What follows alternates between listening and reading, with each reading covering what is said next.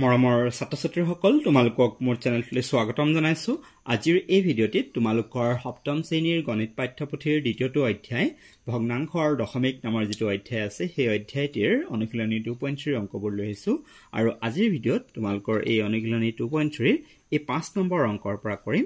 ইয়াৰ আগৰ ভিডিঅ'সমূহত one two three আৰু ফ'ৰ অংককেইটা কৰা হৈছে যিসকল ছাত্ৰ ছাত্ৰীয়ে আগৰ ভিডিঅ' নাই চোৱা বা যদি এক দুই তিনি আৰু চাৰি অংকবোৰ কৰিব পৰা নাই বা যদি বুজি নাই পোৱা তেন্তে তোমালোকে আগৰ ভিডিঅ' চাব পাৰিবা। তাৰ লিংক এই ভিডিঅ' ডেছক্ৰিপশ্যন বক্সত দিয়া আছে। আৰু লগতে তোমালোকৰ যি প্ৰথমটো অধ্যায় অখণ্ড সংখ্যা তাৰ অনুশীলনী one point one one point two one point three আৰু লগতে এই দ্বিতীয় অধ্যায় অনুশীলনী two point one two point tour সকলো অংকৰ ভিডিঅ'ৰ লিংক এই ভিডিঅ'ৰ ডেছন বক্সত আছে। তোমালোকে ভিডিঅ'সমূহ চাই ল'বা। যদি তোমালোকে ডেছন বক্সৰ পৰা লিংক উলিয়াই ভিডিঅ' চাব নাজানা তেন্তে মোক seven zero' eight double six one eight one three four এই নাম্বাৰটো হোৱাটছআপ কৰি জনাবা। তোমালোকক মই লিংকবোৰ দি দিম। এতিয়া তোমালোকে পাঁচ নম্বৰ প্ৰশ্নটো চোৱা। পাঁচ নম্বৰত তোমালোকক কি দিছে যে কোনটো ডাঙৰ মুখে মুখে উত্তৰ দিয়া? কি কৈছে? ইয়াত যিবোৰ দিয়া প্ৰথম যেনেকৈ এক নম্বৰ দিয়া আছে জিৰ' পইণ্ট টু আৰু জিৰ' পইণ্ট জিৰ' টু আমাক সুধিছে যে এই দুটাৰ ভিতৰত কোনটো ডাঙৰ? জিৰ' পইণ্ট টু ডাঙৰ নে জিৰ' পইণ্ট জিৰ' টু ডাঙৰ? এয়া মুখে মুখে আমাক উত্তৰ দিবলৈ কৈছে। তোমালোকে ক'ব পাৰিবানে এই দুটাৰ ভিতৰত কোনটো ডাঙৰ? নিশ্চয় জিৰ' পইণ্ট টু এইটোৱেই ডাঙৰ। কেনেকৈ তোমালোকে তুলনা কৰিবা বা কেনেকৈ গম পাইছা এইটো ডাঙৰ হয় বুলি? তোমালোকে এই যিবোৰ অংক আছে সেইখিনি তোমালোকে তুলনা কৰিব লাগিব। কেনেকৈ তুলনা কৰিবা? তাৰমানে এই দশমিকৰ সোঁহাতে চোৱা দশমিকৰ পিছফালে। দশমিকৰ পিছফালে ইয়াত কি আছে? টু আছে। আৰু এই সংখ্যাটোত দশমিকৰ পিছফালে কি আছে? জিৰ' আছে। আকৌ ভালকৈ মন কৰা ইয়াত দশমিকৰ পিছফালে আছে টু আৰু ইয়াত দশমিকৰ পিছফালে আছে জিৰ' কোনটো ডাঙৰ? টু ডাঙৰ। গতিকে এই zero' point two zero' point zero' টুতকৈ ডাঙৰ হয়। একেদৰে দুই নম্বৰত যদি চোৱা দশমিকৰ বাওঁফালে থ্ৰী আছে। ইয়াতো দশমিকৰ বাওঁফালে থ্ৰী। একেই আছে। তাৰপিছত দশমিকৰ এই সোঁহাতে থকাটোৰ তুলনা কৰা ইয়াত আছে জিৰ' আৰু ইয়াত আছে থ্ৰী। গতিকে কোনটো ডাঙৰ? এইটো ডাঙৰ হয়নে? চ' আমাৰ ইয়াত থ্ৰী পইণ্ট থ্ৰী জিৰ' এই সংখ্যাটো থ্ৰী পইণ্ট জিৰ' থ্ৰীতকৈ ডাঙৰ। চ' এই ধৰণে দশমিক সংখ্যাবোৰ তুলনা কৰি সৰু ডাঙৰ নিৰ্ণয় কৰা হয়। নিশ্চয় বুজি পাইছা? নেক্সট তিনি নম্বৰত চোৱা পাঁচ আৰু জিৰ' পইণ্ট ফাইভ। ফাইভ আৰু জিৰ' পইণ্ট ফাইভ দিয়া আছে এই দুটাৰ ভিতৰত কোনটো ডাঙৰ ক'ব পাৰিবানে এই দুটাৰ ভিতৰত ফাইভহে ডাঙৰ হয়নে? ইয়াত ফাইভ মানে কি? ফাইভৰ পিছত দশমিকটো ক'ত আছে? ফাইভৰ পিছফালে আছে হয়নে? ফাইভ মানে ফাইভৰ পিছফালে দশমিক আছে। আৰু ইয়াত মানে দশমিকৰ আগফালে ফাইভ আছে হয়নে? দশমিকৰ বাওঁফালে ফাইভ আছে কিন্তু ইয়াত দশমিকৰ ফাইভ বাওঁফালে জিৰ' আছে।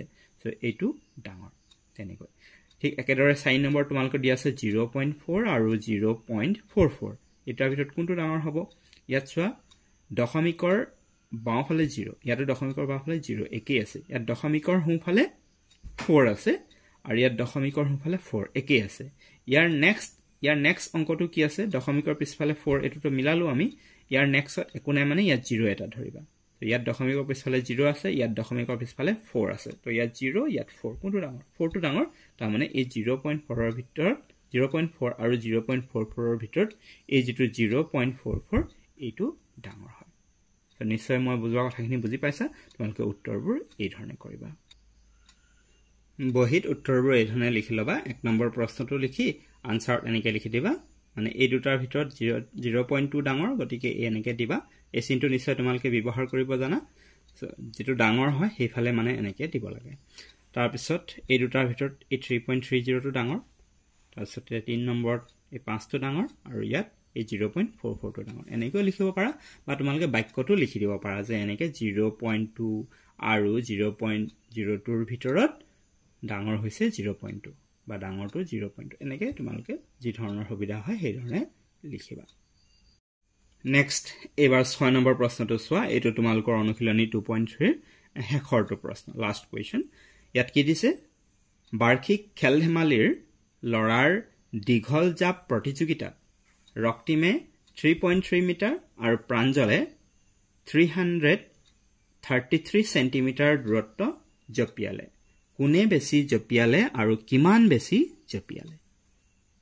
প্ৰশ্নটো বুজি পাইছানে? কি কৈছে যে বাৰ্ষিক খেল ধেমালিৰ ল'ৰাৰ দীঘল জাপ প্ৰতিযোগিতাত তাৰমানে দীঘল জাপ মানে আমাক আমি যাক লং জাম্প বুলি কওঁ। আমাৰ স্কুলত বাৰ্ষিক যিবোৰ খেল ধেমালি হয় এনুৱেল স্পৰ্টছ তাত আমাৰ বিভিন্ন খেল হয় হয়নে? তাৰে যি দীঘল জাপ বা লং জাম্প যিটো কম্পিটিশ্যন বা প্ৰতিযোগিতা তাত ৰক্তিমে কিমান জঁপিয়ালে কৈছে কিমান দূৰত্ব?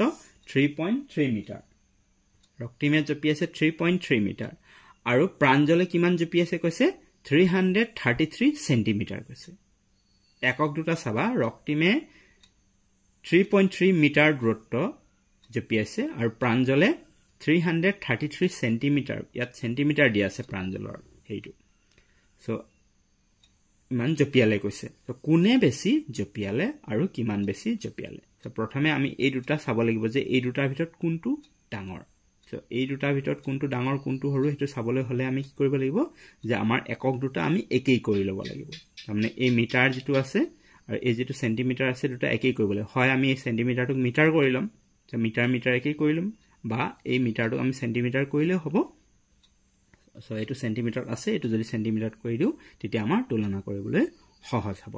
চ' তেতিয়া আমি গম পাম যে এই দুটাৰ ভিতৰত কোনটো ডাঙৰ তাৰপিছত আমি ডাঙৰটোৰ পৰা সৰুটো বিয়োগ কৰিলে কিমান বেছি জঁপিয়ালে সেইটো আমি পাই যাম। চ' এই অংকটো তোমালোকে এইধৰণে কৰিবা চোৱা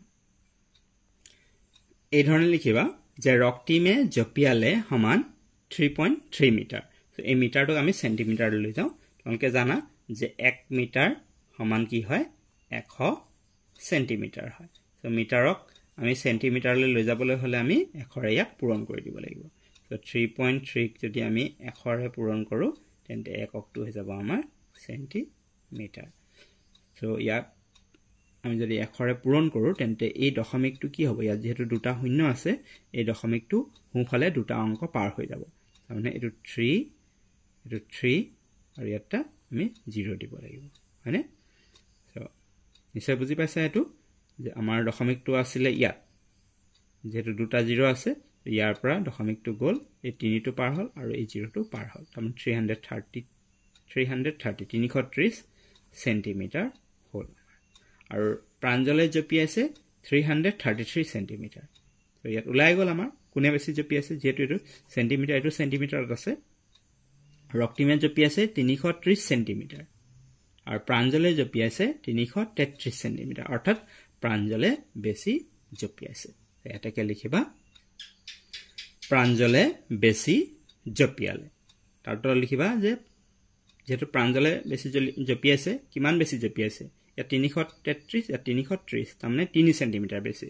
শেষত লিখি দিবা তলত যে প্ৰাঞ্জলে ৰক্তিমতকৈ এইটো এনেকৈ লিখি দিবা থ্ৰী হাণ্ড্ৰেড থাৰ্টি থ্ৰী লিখিলোঁ এইটো মাইনাছ এইটো থ্ৰী হাণ্ড্ৰেড থাৰ্টি ইমান চেণ্টিমিটাৰ হয়নে? তাৰমানে এইটো সমান কিমান হ'ব?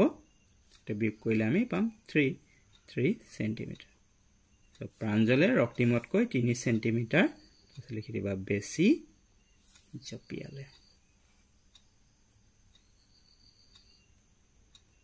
এইধৰণে লিখি দিবা।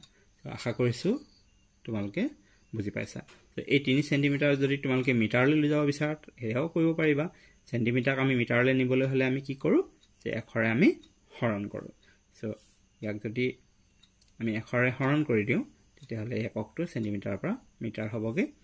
চ' এইটো আমাৰ দুটা জিৰ' আছে তাৰমানে দুটা অংকৰ আগত আমাৰ দশমিকটো বহিব। তাৰমানে zero' point zero' three metre হ'ব।